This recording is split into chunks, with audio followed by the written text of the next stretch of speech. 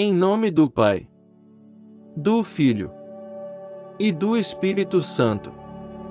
Amém. Glorioso São Francisco de Assis, que recebestes em vosso corpo as cinco chagas de Jesus Cristo, orai por nós.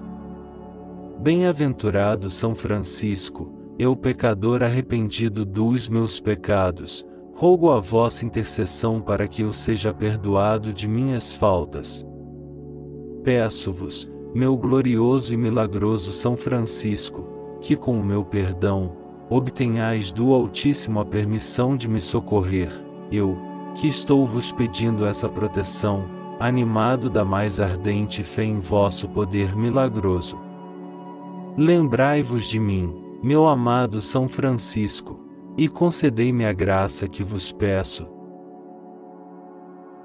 Creio, firmemente, que ouvireis a minha prece. Assim como amansaste o lobo, assim havereis de amansar o coração dos pecadores, inspirando aos cristãos bons sentimentos.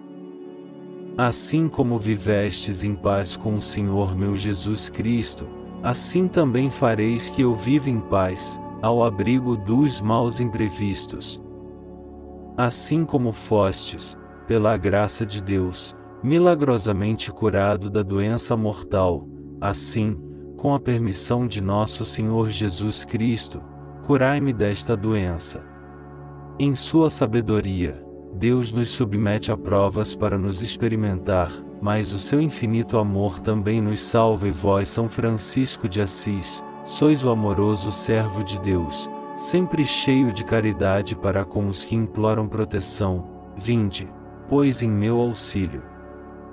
Inspirai-me, querido São Francisco, o amor de Deus, o amor aos meus semelhantes, a prática da caridade cristã para com os pobres, os enfermos, os aflitos. Louvado seja Deus, pela sua misericórdia.